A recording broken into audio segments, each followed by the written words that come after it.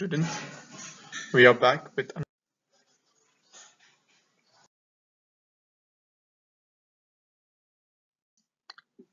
so in today's lesson we'll discuss the different types of nuclei. So first one is your isotopes. The atoms or elements which have the same atomic number but different mass number are called suppose you have any chemical element. So how do you write it in nuclide form? X z a. So what is z? Z denotes your number of proton which is known as your atomic number. A. A is your mass number. Mass number denotes the total number of nucleons and nucleons are your protons or neutrons. Fine. So what are isotopes? All those isotopes which has the same atomic number. Fine suppose you have two elements. Suppose this is x1 this is x2 if x1 has one proton so z equals to 1 if x2 has also one proton then z equals to 1 in this case. Fine. So in this case if all if these two elements have the same atomic number in this case they have the same atomic number but different mass number. Their mass number can be different. Such type of nuclei will be called as isotopes. Okay let's take an example. So we all know about hydrogen. Hydrogen are generally found in three categories. Fine. The first one is your protium. Now in this protium you have only one proton. So if there is one proton what will be its atomic number? Its atomic number will be 1 Fine. And how many nucleons? One proton. Therefore, its mass number A equals to also 1. Fine. So this is your protium. Next is your deuterium. In deuterium, how many protons you have? You have one proton. Apart from having one proton, you also have a neutron. If you have one neutron, so what will be its atomic number? Sorry, what will be its mass number? One proton and one neutron? 2. So the hydrogen atom which has two nucleons out of which one is proton will be known as your deuterium. And the final third one. In this case you have one proton. So what will be its atomic number? Z equals to 1 apart from this one you have a neutron and second neutron. So what will be its mass number? Mass number will be 3 so hydrogen ha have atom having three nucleons out of which one is a proton will be known as your tritium. So in all of these categories, can you notice one thing? They all have same atomic number. Check one, one, one. They all have the same atomic number. That means they have the same number of protons. One proton, one proton, one proton. Fine. Apart from this one, they have different mass number. In this case, the mass number is 1. In this case, the mass number is 2. In this case, the mass number is 1, 2, 3. So they have different mass numbers. So this is an example of your isotope. Moving on.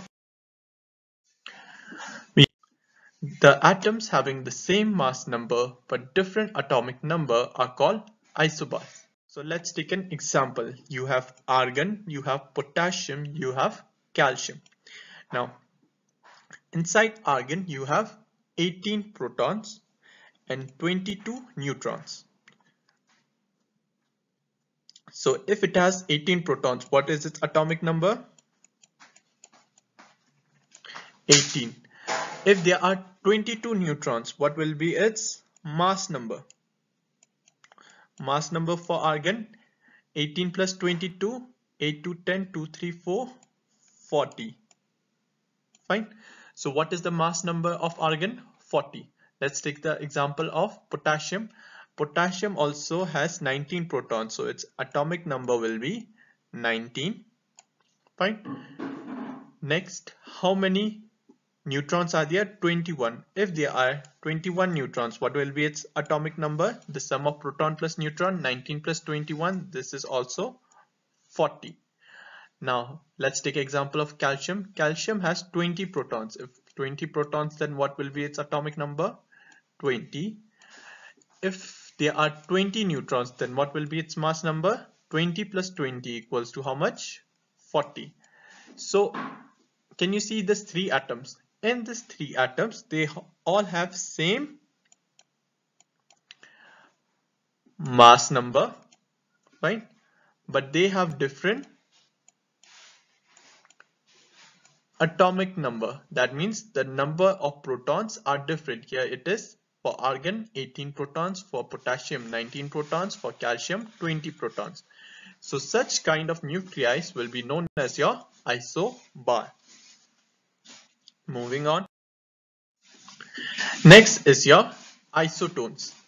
The nucleus having the same number of neutrons are called isotones they will be known as your isotone okay same neutrons Let's take an example. So this is your carbon atom. This carbon atom, okay, has what is the mass number? 14.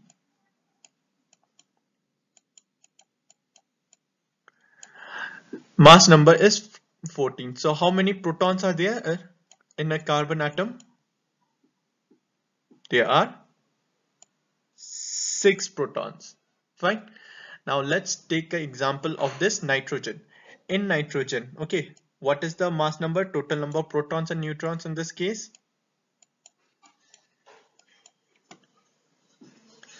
Fifteen. Apart from this one, what is the total number of protons? One, two, three, four, five, six, seven. So how many protons are there? Seven. Fine. Now if I tell you to calculate the number of neutrons, what will be the number of neutrons? Okay, let us denote this neutrons with capital N. We know your mass number equals to the number of protons plus number of neutrons. So what will be your neutrons? Your neutrons will be mass number minus your atomic number. So 14 minus 6 is how much? 8. In this case, what will be the number of neutrons for nitrogen? 15 minus 7, 8. Fine. So can you notice for carbon atom there are 1, 2, 3, 4, 5, 6, 7, okay uh, I missed some one neutron here. Okay there should be one more neutron here. Two three four five six seven eight. Okay so there are eight neutrons. Fine. Now similarly for nitrogen atom how many neutrons are there? One two three four five six seven eight. There are eight neutrons fine. So whenever the nuclei are having the same number of neutrons they will be known as your isotones fine. Moving on. The next one we'll discuss about isomers. Okay. These are the nuclei with same atomic number same mass number but existing in a different energy states Okay, so let us take an example of cobalt 58. Okay, this cobalt 58 has 58 nucleons. Okay, so if you take a cobalt atom, okay, this is a radioactive element. Okay, so what happens? It generally radiate energy. Okay. It radiate energy. For now you can understand like radiating energy is like losing a part of its atom. Okay. So while radiating energy okay while losing some of its part okay. It keeps on radiating radiating radiating okay. So this atom will be reduced to half in your 71 days. Fine. It takes 71 days for this cobalt 58 to reduce into the half quantity of itself whereas there is one more cobalt atom. Fine. But this cobalt atom is at a higher energy state or I'll say that it has uh, the electrons in this cobalt are having higher energy levels. Fine in this case what happens? To reduce it into half it reduces in 9 hours. Fine. So can you take a look? The first cobalt atoms take 58 sorry your first cobalt atom takes 71 days. This one takes 71 days to reduce into half. Whereas your second cobalt or I'll say the meta cobalt atom will take how many days? It doesn't take days. It takes 9 hours. So it is disintegrating very fast. This atom is disintegrating very fast. Now why is this one disintegrating very fast? Because this is unstable. Okay this one is unstable. Whereas this one is more stable as compared to your this case so therefore this one is taking 71 days. Now this one is unstable so it is taking only 9 hours. Fine. So why this instability because of the different energy levels? Okay. In this case they have lower energy levels but in this meta cobalt atom they have higher energy levels. So therefore they disintegrate very fast. Fine. So for one cobalt atom we can get two categories. One is your normal cobalt atom the other one is your meta cobalt atom. So such kind of two nuclei of one element will be known as your isomers. These nuclei will have the same atomic number same mass number but they will have different energy. Fine so such kind of nuclei will be known as your isomer fine moving on. Units and some standard quantities which we'll use throughout. One is your one atomic mass unit. Fine. So what is your one atomic mass unit? Okay let's take carbon. Okay the most abundantly found atom in the nature is your carbon. This carbon what is the mass number? 12 it has a mass number 12 that means how many protons are there? Six protons. Six protons and how many neutrons? Six neutrons. Okay. Now people they have found out the weight of this carbon atom. Okay. The carbon atom weighs around 1.9662678 times 10 to the power minus 26 kgs. Fine. Now, as we know that suppose this is your carbon atom. The weight of the carbon atom generally means the weight of its nuclei. Why we call it nuclei? Because the mass of the electrons is negligible as compared to its nuclei. So whenever you measure the mass of the atom, we generally measure how much its nuclei weigh. Okay, because their electrons are very very light. Fine. So if we fine so the weight of this nucleus is 1.9662678 times 10 to the power minus 6, 26 kg. Okay, so uh, it will be not feasible every time we use such a big quantity for our calculation. Okay, so what we can do is we can measure the mass of the individual nucleon and use it as a standard unit. Okay, that standard unit is your one atomic mass unit. Fine. So what will be the one atomic mass unit if you have 6 proton 6 neutron and the weight of the nucleus is 1.9662678 so you divide so how many total mass number or how many total nucleons are there 12 to find out the mass of the individual what you'll do divide this mass by 12 okay by dividing it by 12 what happens we get the mass of a individual nucleon and that mass will be known as your one atomic mass unit.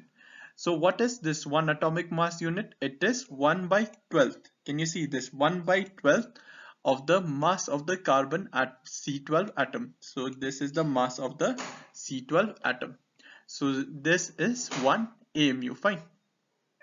So we will measure all of the constituents of atom in respect to AMU fine? Fine. So uh, if I uh, the so up to be 1.66 times 10 to the power minus 27 kg okay. So this is the mass so 1 by 12th mass or I'll say the mass of one nucleon. Okay so let us say what will be the mass of electrons in terms of 1 AMU okay these are the standard values. Okay we won't derive it. You can just remember the values. Like suppose in this case the mass of the electron is somewhere around 0.55 AMU okay so we know the mass of the electron is 9.11 times 10 to the power minus 31 kg for our calculation in terms of AMU we can write as 0.0055 Next, the mass of the proton. The proton mass we know is how much? 1.6726 times 10 to the power minus 27 kg. In terms of AMU, I'll write it as 1.0073 AMU. Fine. Now, in similar manner, the mass of the neutron is how much? 1.6749 times 10 to the power minus 27 kg. And in terms of AMU, it will be 1.0086. Fine. So this is the mass of the proton and mass of the neutron. Apart from this one,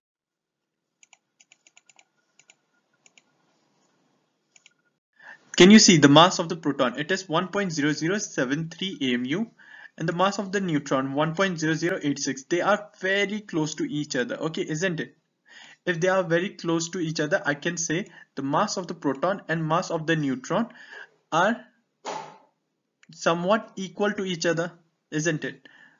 Fine as you can see it is 1.0073 mu 1.0086 mu so there isn't much difference in the mass of the proton and neutron as compared to the mass of the electron. Fine. Okay.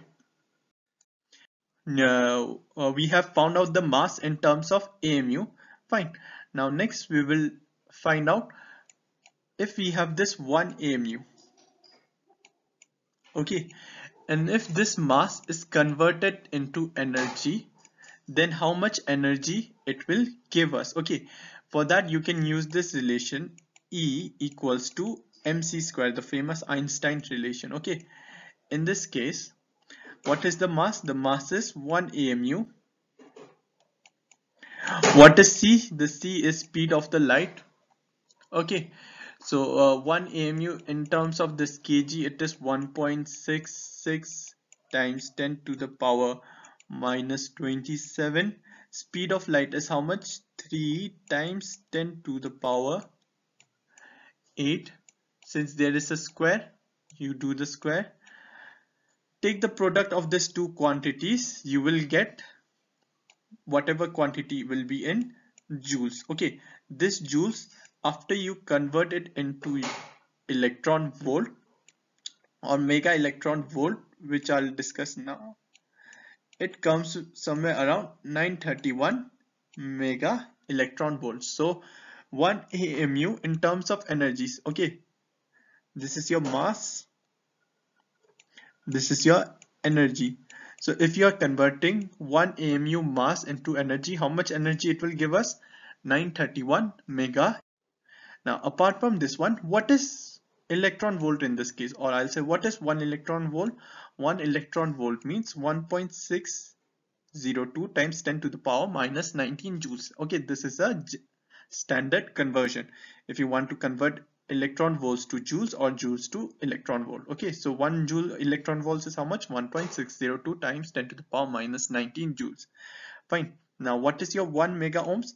Mega means 10 to the power 6. So I it means 10 to the power 6 electron volts. Fine. So uh, the next thing is that energy mass equivalence relation E equals to mc square. So using this three we can find out the energy equivalence of one atomic mass unit which is 931 times mega electron volt. Fine.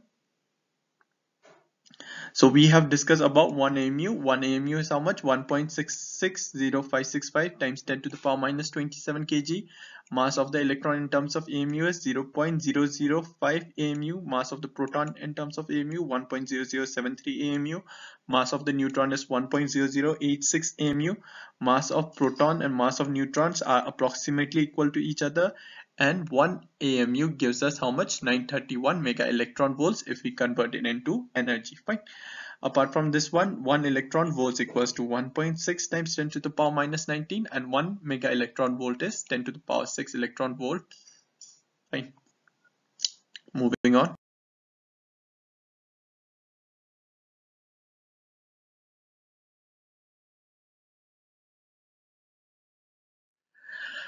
The next thing we'll discuss is your nuclear size. Okay. So nucleus is very small. Okay. The nucleus of any atom is very small. So there is no apparatus which can measure the size of the nucleus. Okay. So what uh, people have usually done is that since this uh, nucleons are very, very small okay they they are very very small okay. So they form a cloud around this at the center. Can you see this cloud okay this cloud is like a sphere. This cloud is like a sphere. So we can measure the mass of this cloud of nucleons okay. So I can write suppose this cloud is made up of different protons and neutrons. Okay if they are made up of different protons and neutrons.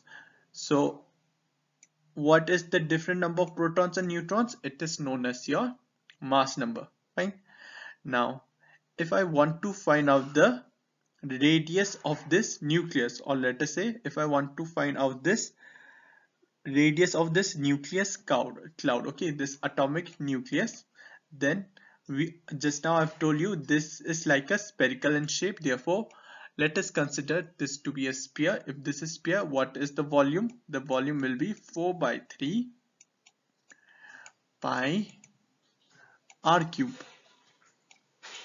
fine where what is this r r is the radius of this sphere so I can say 4 by 3 pi r cube is directly proportional to A. A is your mass number. Fine. Now since this are your constants, so we can ignore the constant. The only important part is r to the power 3 is directly proportional to A. Okay, if I send this 3 here, so I can write the radius of the nucleus is directly proportional to its mass number okay to the power 1 by 3 so the radius of the nucleus is proportional to the cube root of its mass number. So if I have to remove this proportionality sign I have to introduce a constant. This constant is known as your r naught. So r equals to r naught a to the power 1 by 3 and this r naught is generally uh, considered as a constant whose value is 1.2 times 10 to the power minus 15 meter. Okay. So minus 15 meter or minus 50 10 to the power minus 15 I can write as Fermi. So R naught equals to 1.2 Fermi meter. I'll say 1.2 Fermi or I can say femtometer fine. So 1.2 is oh sorry 1 point so r naught equals to 1.2 femtometer fine. Moving on the nuclear density okay now this is your nucleus inside nucleus you have protons and neutrons that means you have different kind of nucleons okay so if you have different kind of nucleons then let a be the mass number. What is this mass number? The, the number of the total nucleons. And let us consider R to be as the radius of the nucleus. Okay, so we have considered this to be as a sphere and let this one as the radius capital R. If m is the average mass of a nucleon, okay, if small m is the mass of a nucleon, whether it be a proton or whether be a neutron. We will consider it as m. Why? Because the mass of the proton and neutron they are very close to each other. Okay so we consider to be some standard unit like suppose let us consider their mass to be m. Fine. Then what will be the mass of the nucleus? If one nucleon has a mass how much? m. So how many nucleons are there? There are a number of nucleons. What is a mass number? So what will be the total mass of the nucleons? Am so i can say the mass of the nucleus equals to ma fine. Now just now i've said this is a sphere. If this is a sphere what will be the volume of the sphere? 4 by 3 pi r cube now r we have just derived. How much it is equal to r naught? a to the power 1 by 3 on simplification i can write 4 by 3 pi r naught cube a. Fine. So what is the volume of the nucleus? 4 by 3 pi r naught cube so what will be the nuclear density? Nuclear density denoted as rho nu. This nu stands for nuclear the nucleus equals to your mass of the nucleus. What is the mass of this nucleus? The mass of the nucleus we have just found out it is how much? Ma divided by the volume of the nucleus on simplification we can get uh, substitute the values cancel this a we get the density as 3m by 4 pi r naught cube. So nuclear density is independent of the mass number. Can you see? My nuclear density is independent of the mass number. It doesn't depend upon how many protons or neutrons you have. It only depends upon your mass number. That means how much this nucleus weighs and radi and this constant r naught r naught is a constant okay? This 3 4 pi r cube they are all constant. So your density depends only the mass. If the nucleus have more mass the density will be more. That means the atoms will be very tightly packed. The density means higher the density means tightly packed. If you have less mass if the mass is small that means the nuclear nucleons will be loosely packed. Okay there will be big spaces between the individual nucleons. So the important point which we have learned from here is that uh, this formula nucleus density equals to 3m by 4 pi r naught cube. And the next thing is that nuclear density does not depend upon the mass number or it doesn't depend upon the size of the nucleus. Right So that's it for today's class. Thank you. And if you have any confusion, please feel free to ask. I will re-explain it to you again. So thank you.